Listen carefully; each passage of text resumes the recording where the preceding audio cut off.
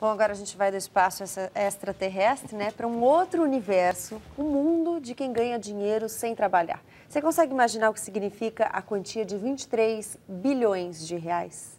É difícil, né? Difícil. Pois é. Seriam muitos e muitos conjuntos habitacionais, hospitais, escolas, estradas, uma série de coisas que o país precisa. É, pois é. Elaiá, esse foi o volume de dinheiro que os envolvidos no escândalo da Petrobras movimentaram em apenas quatro anos. Detalhe, hein? 908 milhões passaram de uma mão para outra em dinheiro vivo. Essa história, a cada dia, é uma surpresa. Né?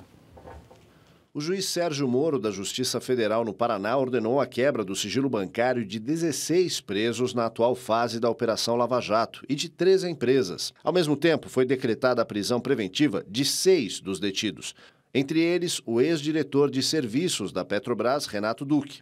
Nesse grupo também se incluem Ricardo Ribeiro Pessoa, presidente da UTC, que seria o coordenador do chamado clube de empresários que distribuíam os contratos entre eles, e José Aldemário Pinheiro Filho, presidente da OAS.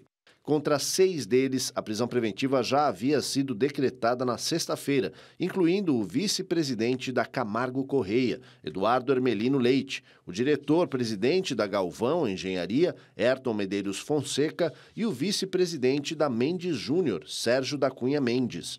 Em seu depoimento, Mendes admitiu ter repassado 8 milhões de reais ao doleiro Alberto Youssef como parte do esquema de propinas.